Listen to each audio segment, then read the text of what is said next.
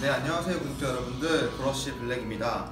제가 오늘 여기 공덕동에 있는 더 건강한 PT샵을 방문한 이유는 여기에 SFG 레벨 2 자격증 한국에서 몇 없는 케틀벨 관련 자격증을 소지하신 분이 있다고 해서 여기에 오게 되었는데요. 오늘 저는 이분께 케틀벨 스윙을 배울 거고 거기에 더 나아가 여러분들한테 조금 다이어트 할 때 케틀벨을 어떻게 이용하면 좋다라는 팁을 좀 알려드리려고 합니다. 네, 자 그럼 선생님 모셔볼게요. 네, 선생님 나와주세요. 네, 선생님 자기소개 한 번만 부탁드릴게요. 안녕하세요. 더 건강한 PT 대표를 맡고 있는 트레이너 정용석이라고 합니다. 만나뵙게 돼서 반갑습니다. 네, 그러면 구독자분들과 저는 사실 SFG라는 이 단어 자체에 대해서 궁금한 게 좀 많거든요. 그래서 SFG가 과연 어떤 자격증인지 좀 간단하게 설명해 주시겠어요? 어, SFG라는 이 자격증은요, StrongFirst에서 하고 있는 케틀벨 자격증 코스이고요. G라는 단어는 Girya의 약자라서 Strong First Girya 그래서 SFG라는 단어입니다. 어, 쉽게 러시안식 hard style 케틀벨을 배우는 거고 오늘 소개해드릴 것들이 바로 러시안식 hard style 케틀벨 스윙에 대해서 알려드릴 겁니다. 네, 이제부터 제가 케틀벨 스윙을 배워볼 건데요. 어, 그 배우기에 앞서서 이제 여러분들도 같이 저랑 따라하시거나 아니면 여러분들도 어디 헬스장에 가서 하셔야 되잖아요. 그렇기 때문에 어떤 준비물이 필요한지에 대해서 좀 여쭤보겠습니다. 일단은 케틀벨이 준비가 필요하고요. 뭐 피트니스 클럽에서 뭐 아무 케틀벨이나 크게 상관없습니다. 근데 이제 무게를 때 좀 기준이 있으면 좋은데 여자 같은 경우에는 이제 최소 12kg. 그럼 힘이 좋으신 분들은 한 16kg. 남자분들은 최소 20kg. 조금 힘이 좋으신 분들은 24kg 정도를 권장을 해드리는 편입니다. 그럼 저는 오늘 24kg, 24kg로 케틀벨 스윙을 배워보도록 하겠습니다. 네, 이제부터 캐틀벨 스윙을 배울 건데요. 어, 캐틀벨 스윙을 배우기 전에 혹시 주의사항 있으면 좀 말씀해 주시면 어, 일단 스윙을 배울 때 주의사항들이 있습니다. 어, 캐틀벨 스윙이라는 것 자체의 운동은 파워 트레이닝에 해당을 하는데요. 뭐, 근지구력, 파워, 뭔가 이 강한 strength를 얻을 수 있지만 뭔가 밑에 전에 해결되는 여러 가지 운동들이 잘 되지 않는다면 일단은 스윙을 알려주기 전 동작들의 운동을 충분히 수행하신 다음에 캐틀벨 스윙을 하시는 게 좋고요. 일단은 발 같은 경우에는 맨발이나 쿠션이 좀 없는 신발이 좋으세요. 쿠션이 있는 신발들은 지면을 꽉 누르지 못하기 때문에 뭔가 더 불안정한 환경을 만들어줘서 안전한 상태에서 하시는 게 좋고 스윙 자체가 동작을 보게 되면 좀 큰 모션이 있는 동작이기 때문에 주변에 항상 누가 없는지 살피면서 트레이닝 하시는 게 좋습니다. 네, 이런 주의사항들 꼭 숙지하시고 지금부터 한번 캐틀벨 스윙을 배워보도록 하겠습니다. 첫 번째 캐틀벨 스윙을 배울 때 가장 첫 번째 배워야 되는 동작은 바로 hip hinge입니다. hip hinge를 할 때 이제 몇 가지 기준점을 만들어 놓고 하면 좋은데요. 제가 이 고러쉬, 진우쌤의 간단한 동작들을 보여드리면서 시작해 볼게요. 옆으로 한번 섰을 때 우리의 몸을 시계의 간단한 표현을 해볼 거예요. 정수리를 시계 12시, 배꼽을 시계 3시 방향, 발바닥을 시계의 6시 방향, 힙을 시계의 9시 방향이라고 표현을 할 겁니다. 힙힌지는 편안한 다리를 넓이를 벌려주시고요. 골반 정도 넓이의 다리 벌려주시면 좋아요.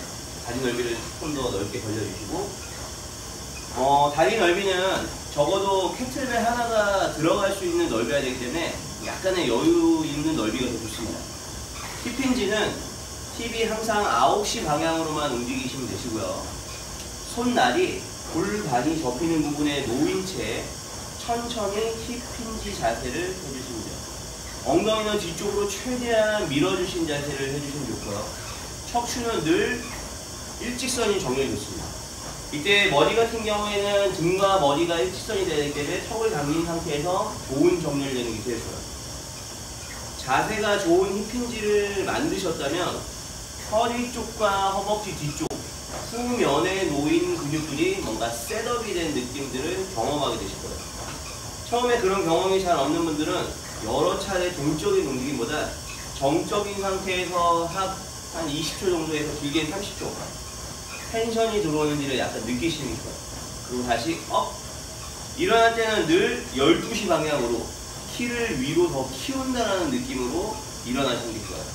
다시 hip hinge up 이렇게 이게 잘 되시는 분들은 이제 팔의 피드백도 같이 주고요. 자, hip hinge 손이 골반에 접히지 않고 뒤쪽으로 멀리 빼주시는 거예요.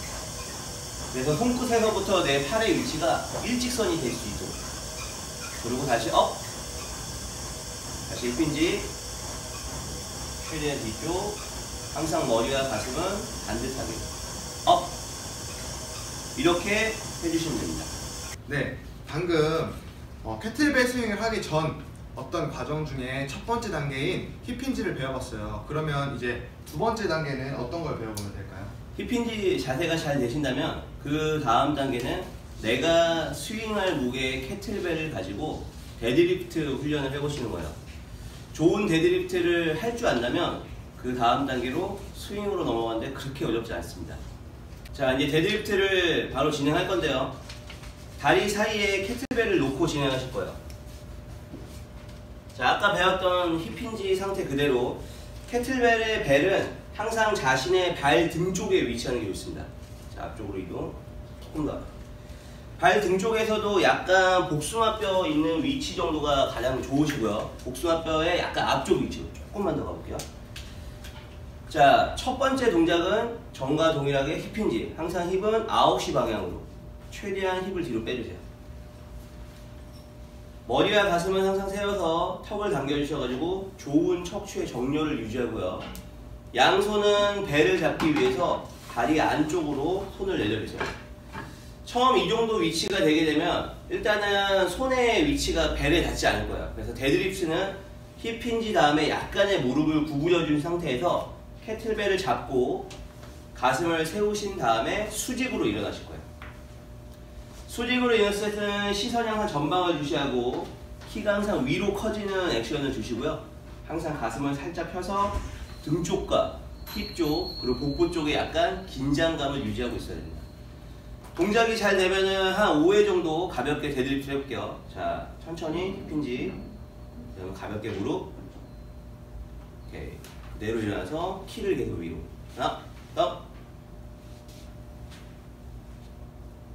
후, 둘, 천천히. 자, 세 개. 넷. 마지막. 더 당기면서. 오케이. 그리고 휴식. 네, 이렇게 앞에서 hip hinge랑 그 다음 deadlift를 배워봤어요. 이제 마지막 캐틀벨 스윙으로 가기 전에 마지막 단계인 pendulum 스윙이라는 것을 배워볼게요. 자 일단 pendulum 스윙을 하기에 앞서 가지고 어, 앞서 hip hinge와 deadlift는 굉장히 중요한 동작이에요. 이 두 가지에서 뭔가 자세가 잘 나오지 않는다면 그 다음 단계로 아직 가지 마시고요. 충분히 연습을 하신 후에 이 다음 단계로 가시는 게 좋습니다. 일단 pendulum 스윙 같은 경우에는 우리가 데드리프트 포지션에서 먼저 시작할 거예요. 자 자세를 한번 취해 볼 겁니다. 전과 동일하게 핸들이 발목 복사뼈 앞쪽으로 이동. 먼저 벨을 잡고 일어나 볼 거예요. 자, hip hinge에서 벨 터치하시고 그대로 일어나세요. deadlift는 Romanian deadlift까지만 내려갑니다. 그래서 벨의 위치가 무릎 살짝 아래쪽까지만. 자, 조금 더 내려 유지. 자, 여기서 이제 pendulum은 앞 뒤로 가볍게 벨을 흔들어 주시는 거예요. 천천히 범위를 흔들어 주시는 거예요. 이때 제일 중요한 건 절대 발이 떨어지시면 안 돼요. 그리고 내가 만들어 놓은 척추 범위가 절대 변동이 있어서는 안 됩니다. 자, 배는 더 강하게 당기면서 팔이 나가고 더 강하게 당기면서 펜들럼이 하는 동안 지면을 계속 강력하게 누르고 계셔야 돼요. 오케이. 그 다음에 휴식. 그리고 다시 다운. 자, 이 펜들럼 스윙을 하는 목적 중에 하나는 어, 대부분 캐틀벨 스윙을 하게 되면 팔에 너무 지나치게 많은 힘을 주는데요.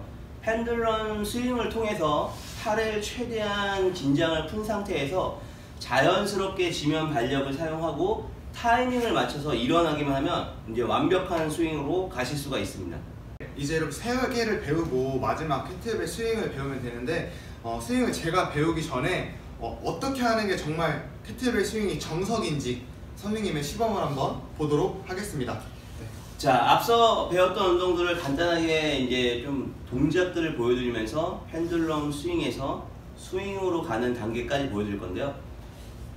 항상 벨 앞에 서 주신 후에 간단하게 힙힌지를 먼저 연습해 보세요.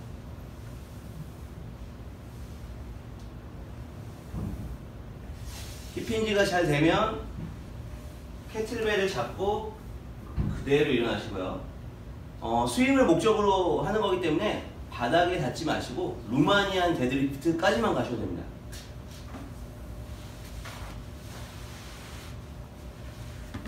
진행이 잘 되면 배를 뒤로 당겨주면서 가볍게 펜들럼을 하고요. 펜들럼의 속도가 붙게 되면 빠르게 그 타이밍에 맞춰서 일어나는 거예요. 배를 뒤로 보내면서 빠르게 일어나는 일어나고 점점 강도는 세게 하면서 캐틀벨은 가슴 앞쪽까지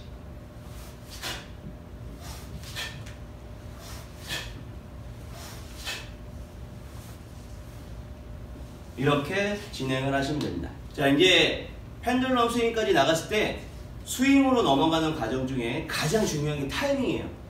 사실 동작이 빠르기 때문에 이 타이밍이라는 걸 잡기는 그렇게 쉽지는 않습니다.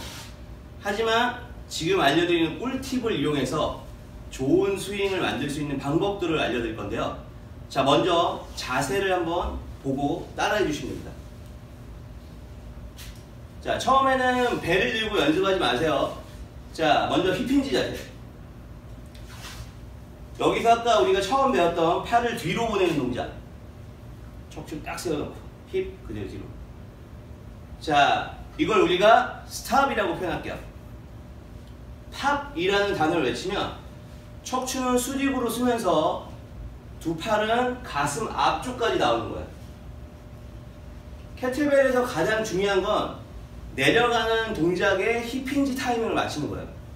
벨은 늘 가슴까지 올라가는데 kettlebell이 천천히 몸에 가까워질 때까지는 척추를 계속 유지하고요. 팔이 몸에 닿기 직전이 됐을 때 그대로 hip hinge와 동시에 팔이 뒤로 쭉 빠지는 거예요. 항상 좋은 척추 정렬을 유지하고 계셔야 됩니다. 다시 pop이라는 단어를 외치면 굉장히 빠른 스피드로 마지막 자세를 취하시는 거예요. 자, 팝! 이때도 역시 항상 키는 위로, 어깨는 다운시키고 두 손은 가슴 정도의 위치가 좋습니다. 처음 초보자들이 제일 많이 겪는 실수는 팔의 위치가 항상 가슴보다 높게 올라오는 거예요. 그런 이유는 아, 아직까지 팔에 힘을 빼지 못해서 그렇습니다. 그런 경우에는 충분히 pendulum swing을 통해서 약간의 팔을 더 이완시키려고 노력하시고요. 다시 한 번 더 stop! 그리고 팝! 천천히 stop 팝! 오케이 이런 훈련이 잘 되면 굉장히 스피드하게 내려가는 거야 제가 타이밍을 stop이라는 단어를 외치면 이 고러쉬는 최대한 빠른 스피드로 내려가는 거야 stop! pop! stop! pop! 오케이 이런 타이밍이 잘 맞추면 자 그대로 손은 내려가서 캐틀벨 잡고요 그대로 일어나서 Romanian deadlift까지 내려가세요. stop. 팔은 뒤로 당기면서 pendulum swing. 더 당기면서 범위가 점점 커지면 타이밍 맞춰가지고 go! go! 이때 위로 일어나요. go! 그렇지.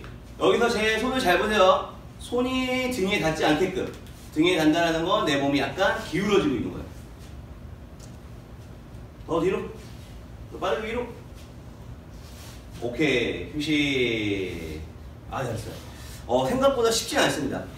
대부분 초보자들이 제일 많이 갖는 성향성들은 뭐냐면 수직으로 일어나기보다는 약간 기울이게 될 수밖에 없어요.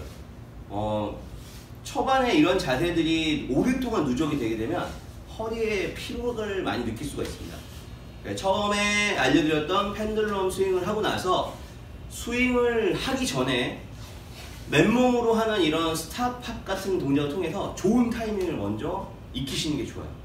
네, 여기까지 제가 kettlebell swing에 대해서 배워봤는데 어, 제가 잠깐 했는데 굉장히 호흡이 좀 가파르게 차거든요. 그래서 혹시 이 kettlebell swing만의 호흡법이 좀 있는지 어, 일단 캐틀벨 진행할 때 이 특별한 호흡법이 있습니다. 우리가 모든 운동에는 같이 호흡이 전환이 되는데 스윙에서 하는 호흡법들은 우리가 이제 파워 호흡이라는 걸 좀 권장을 해드리는 편이에요. 파워 호흡은 뭘 생각하면 되냐면 우리가 눈앞에 촛불 하나가 있다고 생각하고 부드럽게 그 호흡을 통해서 촛불을 끌려고 해보세요. 보통 이런 호흡법들을 많이 하죠. 근데 눈앞에 촛불 하나가 아니라 한 30개 정도가 있어요. 이걸 우리가 순간적인 힘을 이용해서 이 촛불을 다 꺼버리려고 하면 이런 호흡법이 나올 거예요. 이렇게 강하게 호흡을 뱉을 때 지금 혹시 따라해 보셨다면 배에 약간 tension이 느껴질 겁니다. 이건 우리 몸에 순간적인 있는 복부에 있는 주변 근육들을 강하게 tension을 주게 되는 이제 power breathing이라는 호흡법이고요.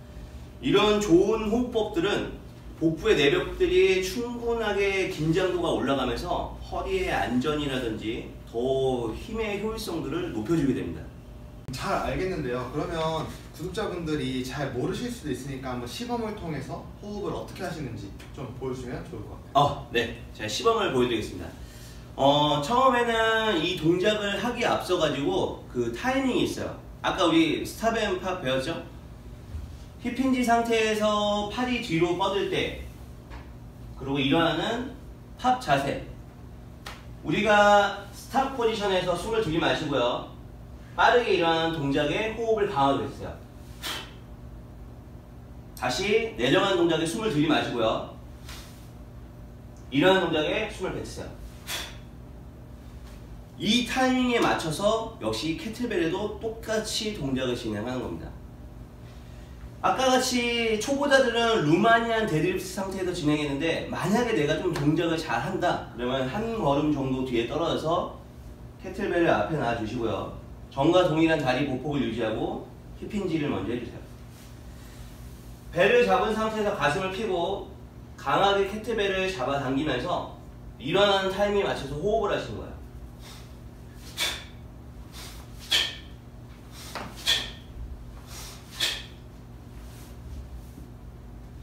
항상 운동은 마무리까지 좋은 정렬에서 내려놓으셔야 허리에 부담을 주지 않습니다. 네, 여기까지 kettlebell swing에 대해서 총 4단계로 배워봤어요. 어, 구독자분들이 이 kettlebell swing에 관심이 조금 있으시거나 아니면 다이어트에 관심이 있으신 분들은 지금 이 자세를 연습해 주시고요. 제가 2편에는 이 kettlebell swing을 토대로 어떻게 운동하는 게 좀 더 다이어트에 도움이 되고 어떻게 운동을 해야 체중 감소를 빠르게 할 수 있는지에 대해서 강동석, 강동석 선생님이랑 같이 한번 다뤄보도록 하겠습니다. 네, 그럼 2편에서 뵐게요.